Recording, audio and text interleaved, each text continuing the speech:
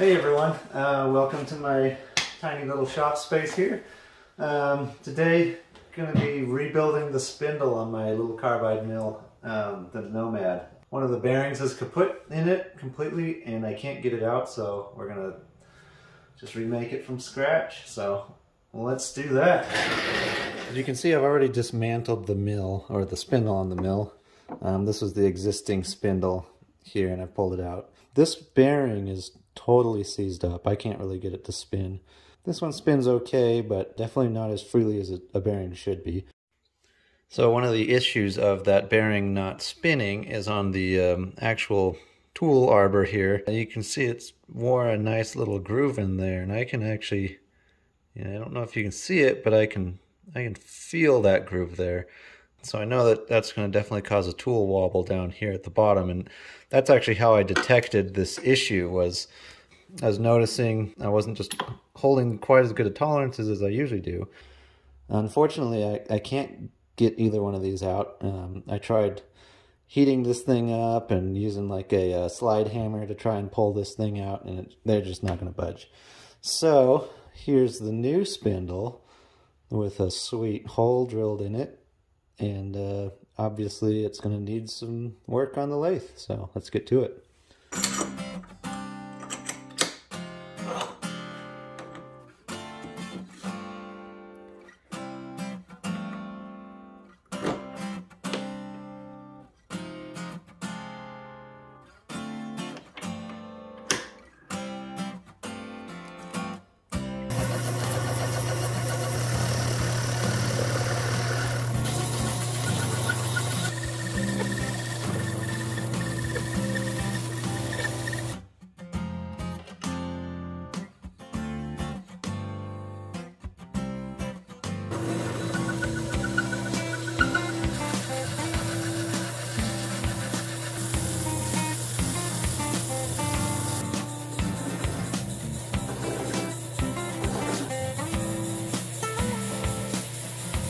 the first step is done. Got this down to 1.25 inches, plus or minus half a thou.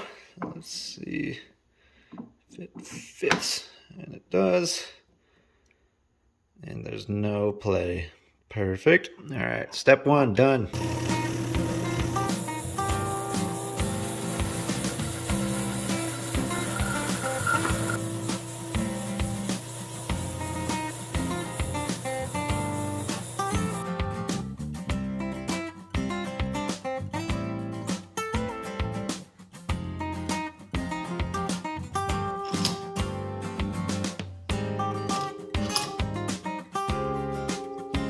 Right, so an unfortunate thing has happened.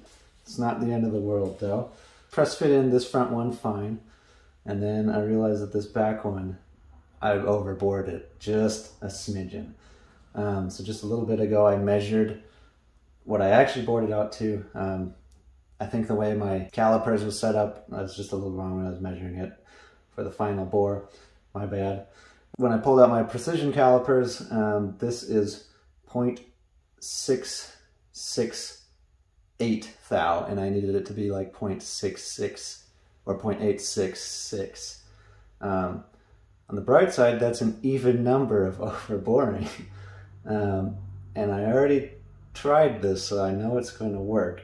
So there's just the slightest movement up on this top bearing there, just because it's not fully seated in there. Since I've got four thou to spare, I can get two two thousandths thick shims on either side of this bearing, mostly around it, which should, in theory, hold it in place.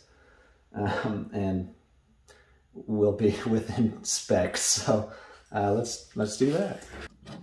Here's what a two thousandths thick shim looks like, by the way.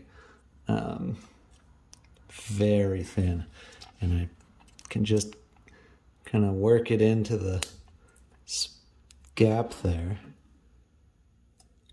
See, so the idea is I can do one on each side. I'm probably going to use the thicker side just because I want more surface area around that bearing covered.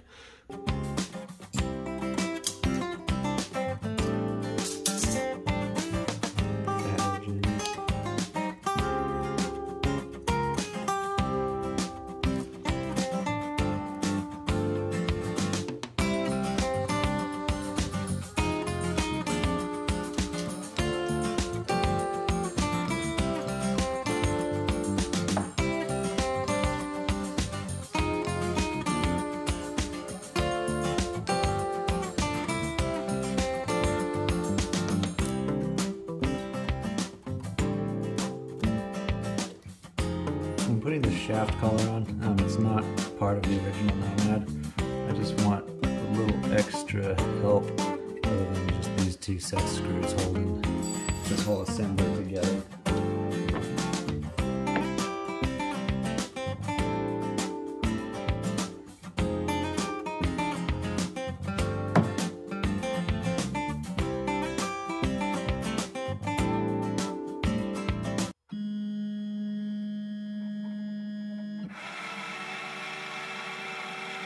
That's my tripod, so we'll do this by hand.